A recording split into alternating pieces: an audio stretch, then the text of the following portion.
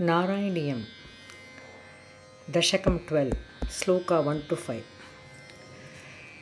स्वायम्भुवो मनुरथो जनसर्गशीलो। दृष्ट्वा महीमसमये सलिले निमग्ना स्रष्टारमापशरणं भवतङ्घ्रिसेवा तुष्टाशयं मुनिजने सह सत्यलोके कष्टं प्रजा सृजति मय्यवनिर्निमग्ना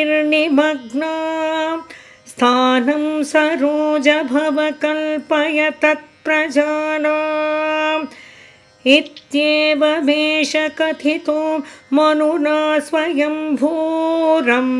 भूरम्भूरुहाक्षं तव पादयुगं व्यचिन्ति।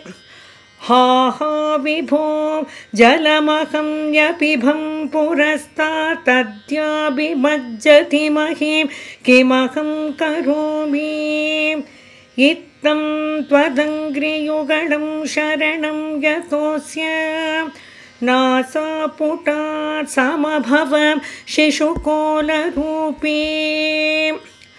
अङ्गुष्टमात्रवपुरुत्पतितः पुरस्तात् भोजोतकुम्भिसदृश समजृम्बतास्त्वम् अभ्रेतता विधमुदीक्ष्य भवन्तमुच्चैर्विस्मेरतां विधिरगात् सहसूनिभिस्मये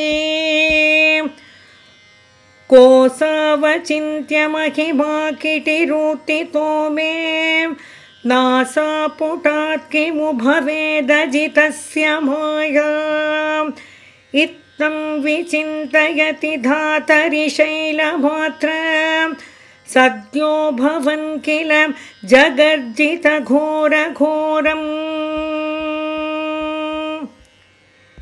इन् दिस् दशकं नारायणभट्टगिरी describes the incarnation of Varaha, the boar.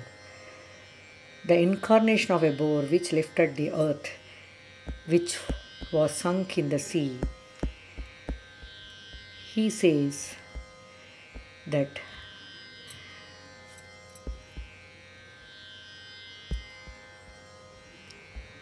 Lord Brahma said, O God, I drank away the casual waters and said, He is surrendering at your lotus like feet. And from the nostrils of Lord Brahma, you came in the shape of a boar calf. And when you came out, you were initially in the size of a thumb and later grew to a size of an elephant. And Brahma, seeing you in that big form along with Marichi and others, was surprised. And he was wondering, who is this mighty boar? Could it be the Maya of Lord Vishnu?